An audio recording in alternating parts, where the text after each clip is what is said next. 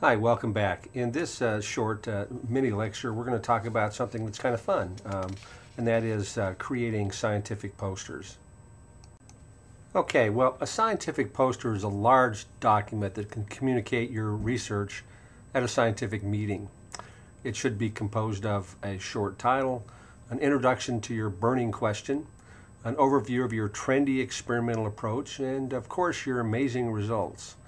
Uh, it should show some insightful discussion of the aforementioned results and a listing of previously published articles that are important to your research, and some brief acknowledgement of the tremendous assistance and financial support from others. If all text is kept to a minimum, a person could fully read your poster in under 10 minutes. All right, well, why should we even do a scientific poster? Well, presenting a poster allows you to more personally interact with the people who are interested in your research. It can reach people who might uh, not be in your specific field of research. And posters are more efficient than a talk because they can be, be viewed even while you're off taking a nap. And especially desirable if you're terrible at giving talks. When doing a scientific poster, it ought to have a traditional introduction, uh, bolded lists of information, and the exhibits should be mounted on separate panels of foam core board. You should use 18 point font or larger and you should use serif rather than sans serif type. And of course, double spacing at least makes it easier to read. Now, when we talk about guidelines for a poster pre presentation, you should remember it's not a journal article. You should present as much information as you can in graphics and tables rather than in sentences. Uh, you should have headlines, subheads, illustrations, and tables. And remember, space and time are critical when doing a scientific poster. You should also note that text set in all capital letters is harder to read than text in both upper and lower case. And use indented paragraphs, not block paragraphs, in doing your scientific poster. Okay, the next four slides we're going to talk about really the anatomy of a, a scientific poster. So first of all, obviously you need a title. Uh, the title should convey the issue or the approach uh, um, or the system. Uh, it sort of needs to be catchy in order to uh, reel in uh, intoxicated passerbys. I say that sort of tongue in cheek because many of poster sessions are at a wine and cheese uh, party or at least uh, during uh, an area um, where alcohol beverages are usually appropriate. So at the very least, don't make your, your, your title too long.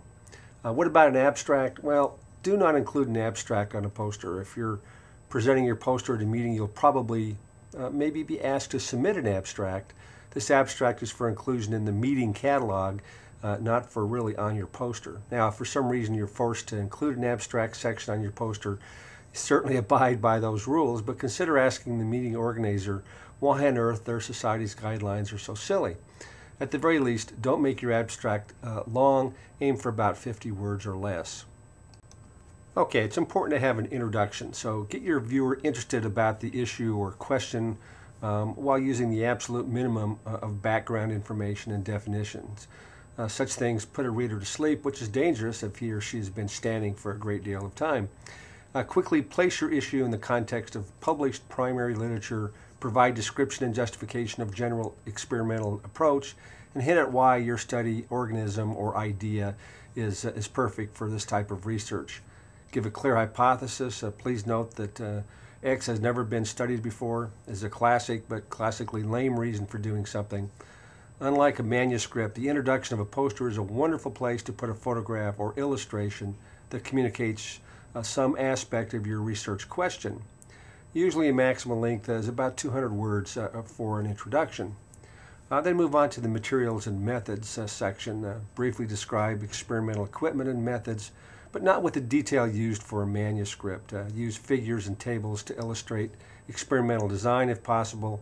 Use flowcharts, uh, the type with text and drawings uh, within boxes to uh, summarize uh, reaction steps or timing of experimental procedures. Include photographs or label drawings of, of the organism uh, or the idea that you have. Mention statistical analysis that were used and how they allowed you to address the hypothesis. So a, mix, a maximum length about 200 words to accomplish all of that. And then on to the results. Now, first mention whether the experiment worked.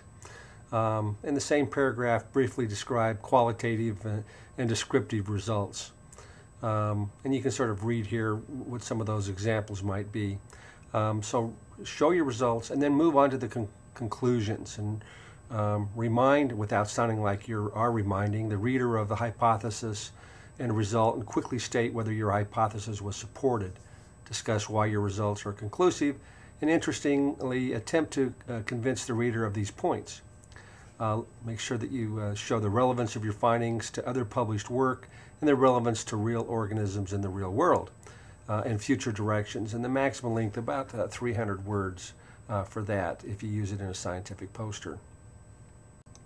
And lastly, you should uh, cite your literature. Uh, follow the standard format exactly. Don't wing this.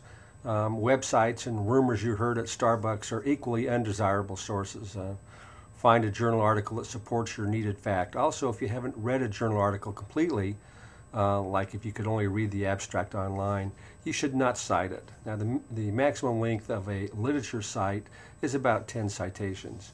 And of course, uh, with a scientific poster, you should have some acknowledgments. Uh, thank the individuals for specific contributions to the project, whether it's equipment, donations, statistical advice, laboratory assistance, or com comments on earlier versions of the poster.